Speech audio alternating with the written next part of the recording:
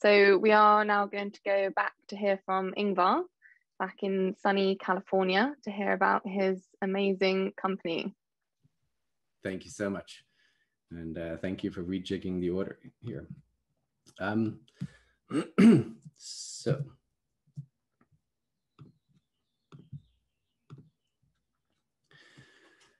so as I mentioned, we're developing a true replacement for traditional leather that is better for the environment, better for animals, and better for customers.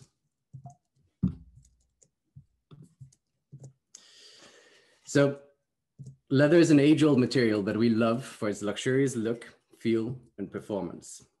However, the singular luxury that we associate with traditional leather is tarnished by the environmentally harmful and wasteful processes that define its production.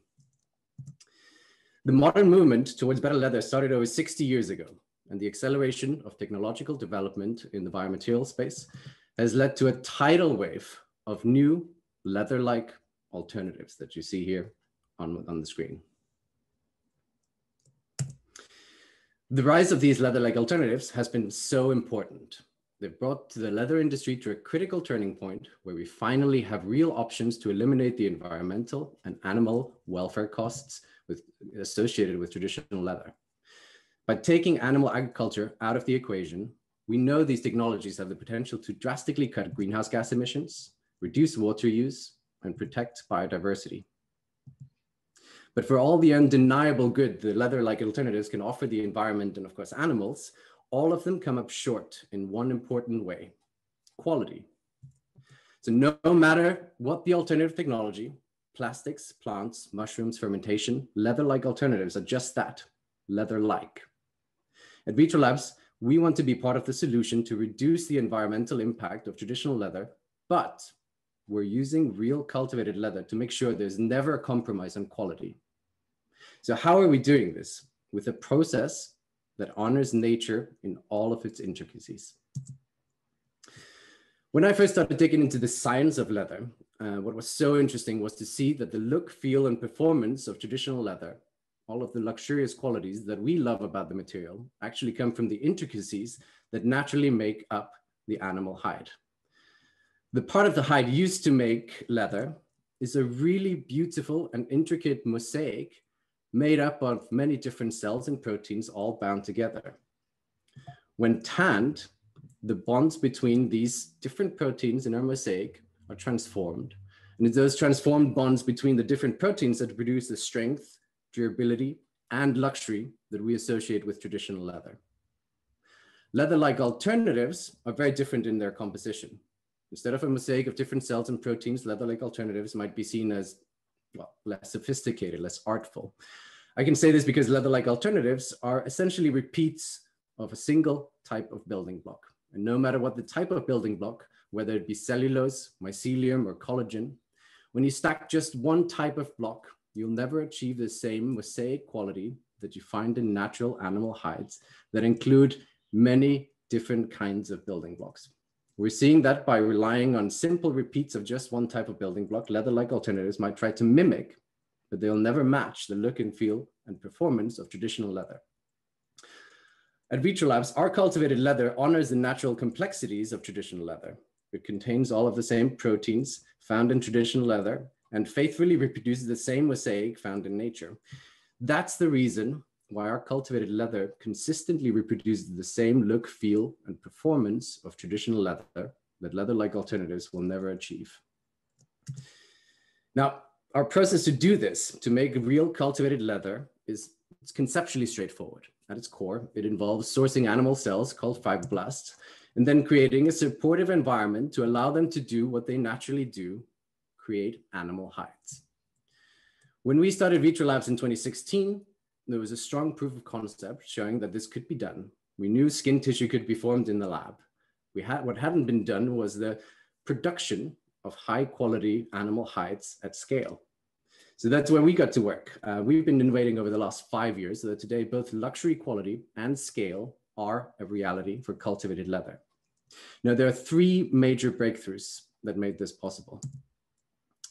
Our first breakthrough was in our cell line development and this has proven absolutely vital for scaling. So when we started five years ago, a traditional system for tissue production would have used an unmodified cell line of fibroblasts. Unmodified fibroblasts reproduce 40 to 50 times and then become senescent. They stop reproducing and eventually die. That creates an obvious bottleneck for production. So tissue production requires a constant source of cells. And when your cell line dies, you'll need to return to the source again and again in order to continue production. To guarantee a consistent supply of cells, but without ever needing to return to the source, we engineered an immortal fibroblast cell line. The cell line is immortal because instead of becoming senescent after 40 to 50 doublings, it reproduces indefinitely. Because our cell line keeps reproducing, we never need to return to the animal source. Our, um, our immortal cell line is so prolific that with one single biopsy, we can produce enough cells for billions of square feet of leather. And to put that into context, that's enough to supply the luxury market for the next decades. With our engineered cell line, it's one harmless biopsy and then done. And that's a game changer for cultivated leather. Our second major breakthrough is our large scale tissue engineering system. So traditional tissue engineering, like what you see in regenerative medicine, has been successfully used to make tissue, but only in limited quantities. The equipment used currently in other fields doesn't support large scale manufacturing. And that was another obvious bottleneck for producing cultivated leather at scale. So at Vitrolabs, we designed our own large scale tissue reactor engineered to meet all of our needs for a fully automated large scale production. Whereas traditional reactors output tissue a few square inches in size, our design flexibility accommodates sheets of leather, any thickness, shape, or size. We gain flexibility and efficiency with our custom made design, and cultivated leather can produce at scale never seen before. So this proprietary design was one of the most critical keys to unlocking the door to large scale commercial production. So the last breakthrough that I want to talk about here actually encompasses a suite of uh, optimizations to our tissue formation process. Over the last two years, we've been obsessively tweaking and improving every single step of our production process with a laser focus on creating the highest quality cultivated leather possible.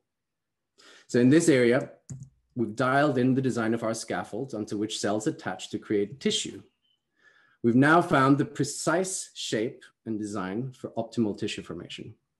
Next, the immortal cell line that I mentioned, well, it not only produces an everlasting source of fibroblast cells to seed continuous production, but it also reproduces faster while producing the same diversity, quality, and even better density of collagen than an unmodified cell. So these optimizations of the cell line mean that we can get better collagen deposition than before, which again is absolutely critical for reproducing that luxurious look, feel, and performance of real leather that we and our customers expect. And we finally customized our growth media to optimize protein expression. With new partners leading the way in this space, we found just the right mix of nutrients and growth factors to support an even better production of collagen and other proteins. The higher collagen concentrations we achieve with our growth media produce an even better structure to our cultivated leather that is used to, utilized in the tanning process. And that's how we deliver an elevated quality like no one else. So I'm extremely proud of our team here at Vitrolabs for leading the way in transforming the leather industry. We have an order in hand from a major luxury brand, and we're ready to take the next big leap forward towards commercialization. If, of course, you would like to know more, um, either about our platform or product, um, I'd love to continue the conversation offline. Thank you so much. Great. Thank, thanks so much for that, Ingvar. Um, so let's see if we've had any questions. Uh, we haven't, so I will ask some. Um, can you, so you did touch upon this briefly, um, how you obviously have gone down for the cell culture route as opposed to uh, using fermentation to produce proteins that could then be incorporated into materials. Um, so can you just touch a bit upon how you were differentiated to uh, the likes of Bolt Threads and Modern Meadow, who are also quite well-known names in the field? Yeah, so it's all about kind of the leather-like alternatives, as I touched upon uh, earlier in the presentation.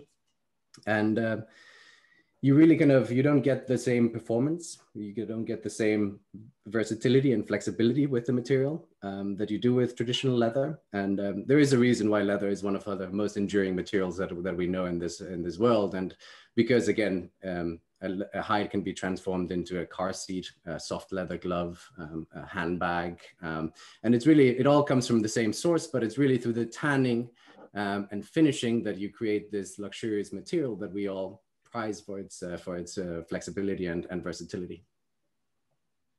Excellent, thanks. Um, so we've got a few questions coming through now. Uh, which one shall we go for? Um, what are the main challenges you face today in bringing your leather to the market? So it's a lot about the, uh, I mean, we're now um, building out our pilot scale production. So this is going to be happening this year. So it's about uh, it's engineering challenges uh, more than uh, than R and D challenges at this stage. Um, and then of course um, you know, scaling out our current platform, uh, which is a which is a huge challenge. And and the team is working extremely hard both on on scaling out the, um, cell line production, um, media formulations, and and of course the engineering of the of the of the um, bioreactors themselves. Yeah, um, and this one's from Richard. Uh, do you need any reg regulatory permission to call your product leather? Um, great question. So um, there is no regulatory framework in place uh, in most parts of the world. Um, I think in France there's regulatory um, what can be can and can't be called leather, and uh, in Brazil I think, but uh, but the rest of the world uh, no. Yeah. But because we are growing real hides, um, this is a conversation that we're looking to start with uh, with the French government as soon as possible. So again, kind of, um, how can we how can we fall within that within that framework of of animal hides because that's essentially what it is. Mm-hmm.